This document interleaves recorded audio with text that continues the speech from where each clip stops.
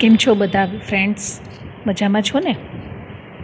તમને લોકોને મેસેજ મળી જ ગયા હશે કે હવે આપણી નેક્સ્ટ યુનિટ એક્ઝામ એ યુનિટ ફાઇવ અને યુનિટ સિક્સની છે.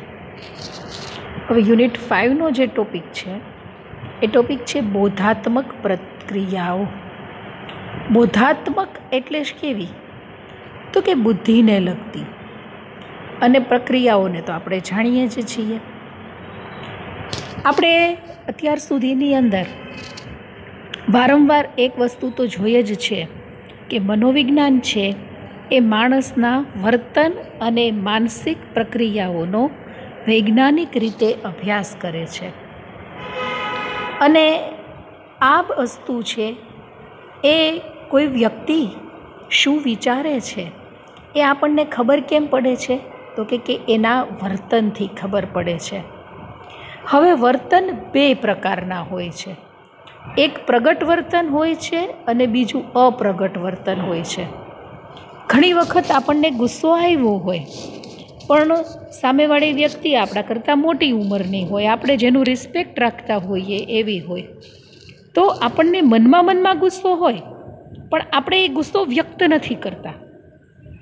એ જ વસ્તુ આપણી ફ્રેન્ડની સાથે થઈ હોય, તરત કીધે, એ જવા દે, આમ ન હોય.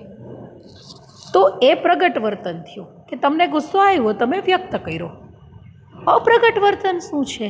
તો કે કે તમને કંઈક ફીલ થયું છે, પણ તમે તમારા ચહેરા ઉપર હાવભાવ આવવા દેતા નથી, તમે તમારા વર્તનની અંદર એ વસ્તુ દેખાડતા નથી. કોઈને જોઈને તમને હસવું આવે એવી વાત થઈ, તમને એનું ડ્રેસિંગ જોઈને એમ થાય કે આણે કેવા કપડાં પહેર્યા છે? તો તમે સામેવાળી વ્યક્તિને ખરાબ ન લાગે એટલા માટેથી તમે કંઈ વર્તન દેખાડો નહીં, તો એ અપ્રગટ વર્તન કહેવાય. જ્યારે તમે તરત જ એક્સપ્રેસ કરી દો છો, તો એ પ્રગટ વર્તન કહેવાય. હવે આમાં એવું છે કે કોઈ વ્યક્તિનું પ્રગટ વર્તન હોય, એટલે કે દેખાઈ આવતું હોય કે આ વ્યક્તિ આવું વર્તન કરે છે, તો એનો અભ્યાસ બહુ સરળ છે. પરંતુ જે અપ્રગટ વર્તન છે એનું સીધું નિરીક્ષણ થઈ શકતું નથી. દાખલા તરીકે, તમે ક્લાસમાં બેઠા છો. તમે ક્લાસમાં બેઠા બેઠા કોઈ વિચારો છો, કંઈક કલ્પના કરો છો. પણ તમે હકીકતની અંદર તો ક્લાસમાં બેઠા સામે તમે ચોપડી ખુલ્લી રાખી છે. તો એ અપ્રગટ વર્તન છે.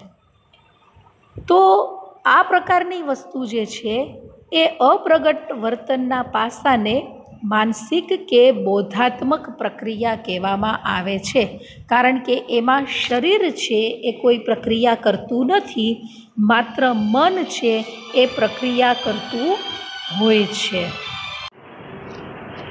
તો આ બધી બાબતો કેવી છે? તો કે કે બુદ્ધિને લગતી બાબતો છે. એની અંદર તમે કોઈ પણ વસ્તુનું પ્રત્યક્ષીકરણ કરો છો, એટલે કે વિઝ્યુઅલાઇઝેશન કરો છો, ધ્યાન કરો છો, સ્મૃતિ કરો છો, વિચારણા કરો છો, કોઈ તર્ક ક્રિયા કરો છો, બરાબર?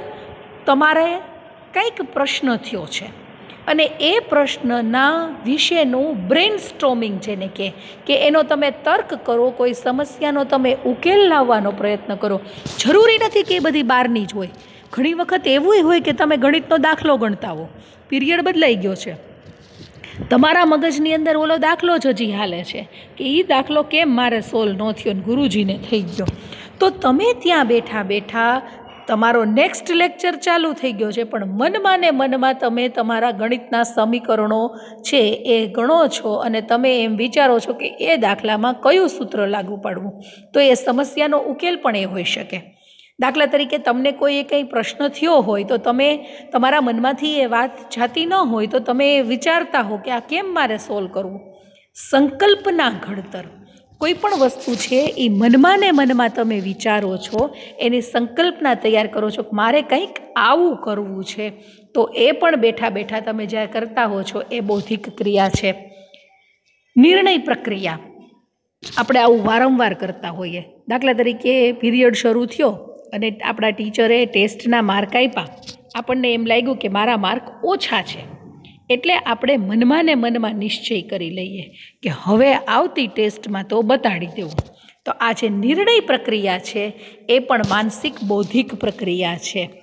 તો આ બધી વસ્તુઓ બૌદ્ધિક પ્રક્રિયા છે, આના ઉપર ભાર મૂકતો જે અભિગમ છે. અભિગમ એટલે એના તરફનું વલણ, એના તરફનો એટીટ્યૂડ એપ્રોચ તો એને કહેવામાં આવે છે બોધાત્મક અભિગમ, એટલે કે કોગ્નિટિવ એપ્રોચ એની અંદર માણસ છે એ બુદ્ધિ ક્ષમતા વાપરી અને જે વસ્તુના નિર્ણય ઉપર પહોંચે છે એને બોધાત્મક અભિગમ કહેવામાં આવે છે. આપણે બધા જ એક યા બીજી રીતે આ પ્રકારનું વર્તન કરતા જ હોઈએ છીએ. ખાલી ભણતી વખતે જ કરતા હોઈએ છીએ એવું નથી. આપણે ટીવી જોતા હોઈએ તોય તેવો મનમાં વિચાર આવતો હોય કે, ઓકે, તારક મહેતા પૂરું થશે, પછી મારે આમ કરવું જ, પછી મારે તેમ કરવું જ. આ વસ્તુ આપણા આપણા પ્લાનિંગ છે કે આપણા વિચારો છે એ સતત ને સતત ચાલુ હોય છે. તો this is cognitive behaviour cognitive approach કે જેની અંદર બ્રેઇન કામ કરે છે, શરીર કામ કરતું નથી. શરીર તો તમે જે જગ્યાએ છો, એ જગ્યાએ તમારી જે સામાજિક ડિસિપ્લિન છે, એ ડિસિપ્લિન પ્રમાણે જ તમે બેઠા છો. તો આ જે આધુનિક મનોવિજ્ઞાનનો ઉદ્ભવ થયો અને એનો વિકાસ થયો. એમાં રચનાવાદ, કાર્યવાદ, સંવેદન, પ્રતિમા, આ બધી જ માનસિક પ્રક્રિયાઓ ઉપર ભાર મૂકાણો હતો. આ બધું આપણે અગાઉના ચેપ્ટરની અંદર જોયું જ છે.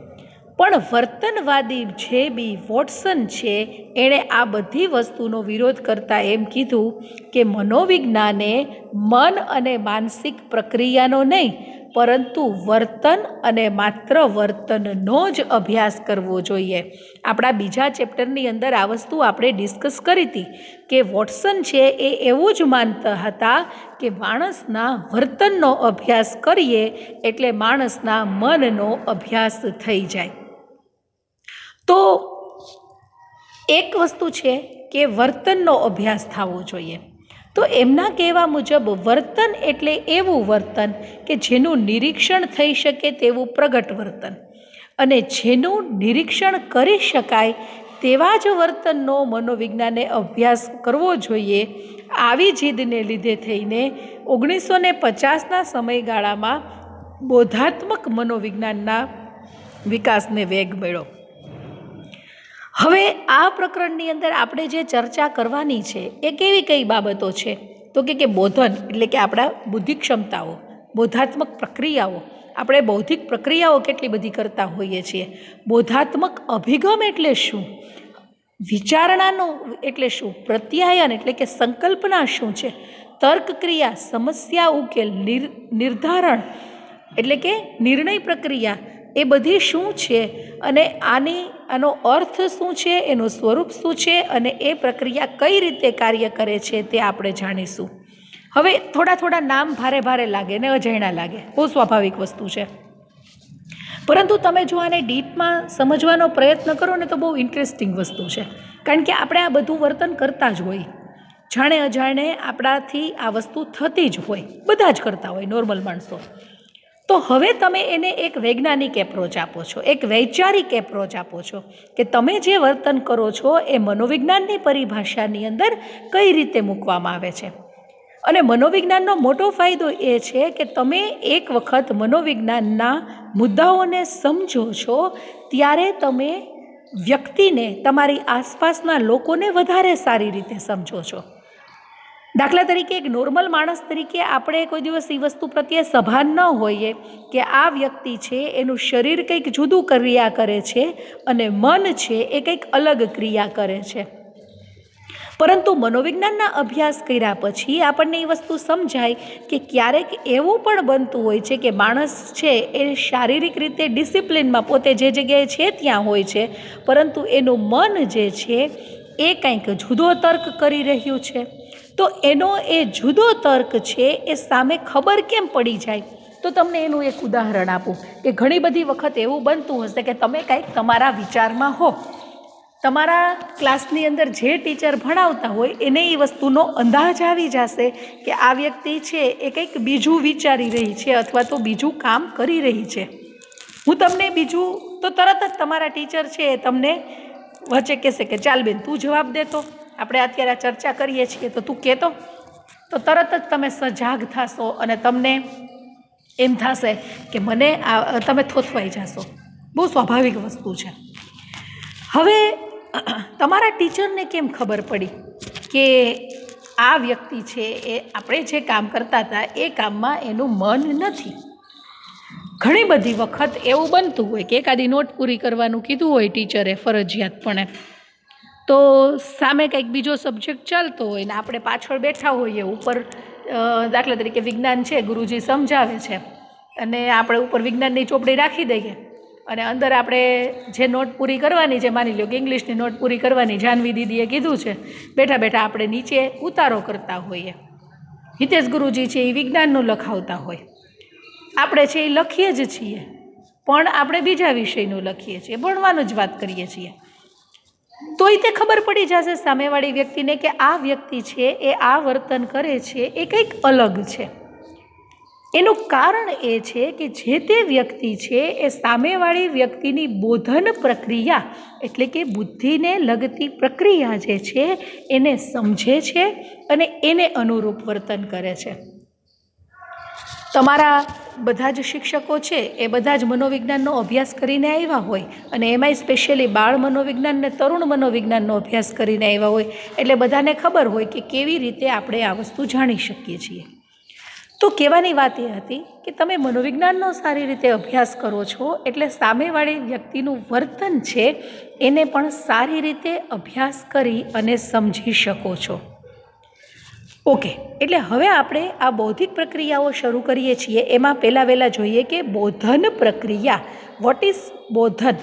આ બોધન પ્રક્રિયા એ શું છે? તો કે કે સામાન્ય રીતે મનુષ્ય તરીકે આપણે એક સક્રિય પ્રાણી છીએ. આપણે સાવ એમને સવારના બેઠા હોય તો રાત સુધી એમને બેઠા રહીએ એવું ન હોય. આપણે કંઈક હલનચલન કરીએ છીએ, કંઈક ક્રિયા કરીએ છીએ. આપણી આસપાસ બનતા બનાવો અને ઘટનાઓને જાણવાનો અને સમજવાનો પ્રયત્ન કરીએ છીએ. એટલું જ નહીં, એમાંથી આપણે માહિતીને ગ્રહણ કરવાનો પ્રયત્ન કરીએ છીએ અને એ માહિતી આપણા મગજની અંદર આપણે સંગ્રહ કરીએ છીએ. પછી એ વસ્તુનો આપણે ક્યારેય ઉપયોગ કરતા નથી, એવું નથી. જ્યારે જ્યારે એની જરૂર પડે, ત્યારે એને યાદ કરી અને ફરીથી પુનઃ પ્રાપ્ત કરીએ છીએ અને આપણી સમસ્યાઓને ઉકેલ લાવીએ છીએ. આવું બનતું હોય કે ઘટના કોઈ પણ હોય, તો મગજની અંદર ઘટનાને આપણે સેટ કરી દીધી હોય. કે ઓકે આવું કંઈક છે. કોઈ સામાન્ય, તમને સામાન્યમાં સામાન્ય ઉદાહરણ આપું. કે કોઈ પણ જગ્યાએ તમે સ્કૂલના બિલ્ડિંગમાં આવો છો, તો એક રસ્તો આગળનો છે, એક રસ્તો પાછળનો છે. એક રસ્તો સાઈડમાં પણ છે. તો તમે જ્યારે ત્યાંથી નીકળો છો, ત્યારે તમે જુઓ છો કે સાઈડમાંથી નીકળવાનો એક રસ્તો છે ખરા. તમારા મગજની અંદર એ માહિતી સ્ટોર થયેલી છે. ક્યારેક એવું બને છે કે બેય રસ્તા આગળ પાછળના બેય રસ્તા બંધ છે, ત્યારે તરત જ તમારું મગજ છે એ પ્રક્રિયા કરીને કહેશે કોકે એક સાઈડમાં એ રસ્તો છે હો, ત્યાંથી નીકળી જવાય. તો આ જે વસ્તુ જે છે, એ શું છે? તો કે કે આપણા મનની પ્રક્રિયા બતાડી. કે આપણે એના આધારે ભવિષ્યની યોજનાઓ પણ કરતા હોઈએ છીએ. અને એટલે એટિક્સન એન્ડ એટિક્સન, સ્મિથ અને હિલગાર્ડ આ બધા બોધનની શું વ્યાખ્યા આપે છે કે બોધન એ માહિતી પ્રક્રિયાકરણ, સ્મૃતિ, પ્રત્યક્ષીકરણ જેવી માનસિક પ્રક્રિયાઓ સાથે જોડાયેલી બાબતો કે જેની મદદથી વ્યક્તિ જ્ઞાન પ્રાપ્ત કરી શકે છે, સમસ્યા ઉકેલી શકે છે અને ભવિષ્યની યોજના પણ બનાવી શકે છે. કે સામાન્યમાં સામાન્ય ઉદાહરણ છે કે આપણે બે, ત્રીજો દરવાજો જોઈએ ત્યારે વિચાર આવે કે બે દરવાજા બંધ હોય તો આ દરવાજાનો ઉપયોગ કરવા જેવો ખરા. એટલે કે કોઈ પણ માહિતીનું અર્થઘટન કરવું, એનું વિશ્લેષણ કરવું અને એને યાદ રાખીને તેનો ઉપયોગ કરવો એટલે કહેવાય બોધન. હવે અહીંયા એક ઉદાહરણ આપ્યું છે કે ચૂંટણી દરમિયાન તમે ટીવી ઉપર કોઈ રાજકીય નેતાનું ભાષણ જોઈ રહ્યા છો. આ નેતા છે એ અલગ અલગ સામાજિક ચર્ચાઓ અને વર્તમાનપત્રો વગેરે દ્વારા આ આ વસ્તુ ઓલરેડી આ મેટર ચર્ચામાં છે જ તે. પક્ષના કાર્યકર્તાઓ છે એ નેતાઓના કાર્યકરથી તમે અમુક હદ સુધી પરિચિત પણ છો. અને સૈદ્ધાંતિક રીતે તમે એ વાતમાં સહમત પણ છો. પરંતુ ટોચના નેતાઓને અમુક કાર્ય પસંદ નથી.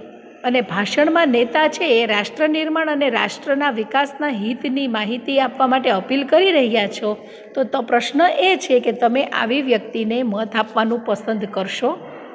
તો એના માટે તમે શું કરશો? તમે નેતાને મત પસંદ કરવાના છો તો એના માટે તેણે અગાઉ આપેલા ભાષણો, એણે કરેલી ક્રિયાઓ, એની માહિતીનું પ્રક્રિયાકરણ આ બધું તમે ભેગું કરશો અને નિર્ણય કરશો. તો હવે એ જોવાનું છે કે માહિતીનું પ્રક્રિયાકરણ એટલે શું? તો કે કે બહારના જગતની અંદરથી જે માહિતી આપણે મળે છે, એ માહિતી આપણે એમને એમ નથી સ્વીકારી લેતા. તમે દાખલા તરીકે કોઈ વસ્તુ જોવો છો, તો તમે સીધી સ્વીકારી નથી લેતા. ઓકે, આ આમ જ છે. તમે એમાં ફરીથી તમારી જૂની માહિતીની સાથે એને સરખાવો છો. દાખલા તરીકે તમને અભ્યાસની અંદર કહેવામાં આવ્યું હોય કે આપણું શરીર છે એ આ રીતે કાર્ય કરે છે. તો તમે નવમા ધોરણની અંદર શરીર વિજ્ઞાન ભણ્યા છો, ત્યારે તમને જે માહિતી આપી હતી, એ માહિતી તરત જ તમે ઓલી કરો છો કે નવમામાં તો અમને આવું સમજાવવામાં આવ્યું હતું. તો આ જે વિશ્લેષણ છે, એ વિશ્લેષણ કરી અને એની અંદર ફેરફાર કરીને કોઈ નિર્ણય ઉપર પહોંચીએ તો એ જે પ્રોસેસિંગ છે, એ પ્રોસેસિંગ એટલે માહિતીનું પ્રક્રિયાકરણ. બરાબર છે? આટલી વસ્તુ તમને સમજાઈ ગઈ હશે? આ બધી જ વસ્તુ, એટલે કે આ પાઠ શરૂ થયો ત્યારથી લઈ અને અહીંયા સુધીનું. તમે આ વીડિયો જોઈ લ્યો, પછી તમારે વાંચવાનું છે. તમે લોકોનો મોટો પ્રોબ્લેમ એ છે કે તમે લોકો પાઠને વાંચતા નથી. હું તમને જે પાઠ સમજાવું છું, એ પાઠ સમજ્યા પછી તમારે એ પાઠને વાંચવાનો હોય. તમે એને વાંચશો તો તમને એને વધારે સારી રીતે સમજી શકશો. બરાબર છે? એટલે આટલું જ આટલામાંથી આખો પાઠમાંથી થોડોક જ ભાગ અત્યારે મેં લીધો છે કે અહીંયા સુધીનું મેં તમને સમજાવ્યું છે. આટલી વસ્તુ છે તમારે ડિટેલની અંદર વાંચવાની છે. બે વખત વાંચો જરૂર પડે તો. અને પછી પાછો નેક્સ્ટ ટોપિકનો વીડિયો છે એ તમે જોજો. ત્યાં સુધી take care and good bye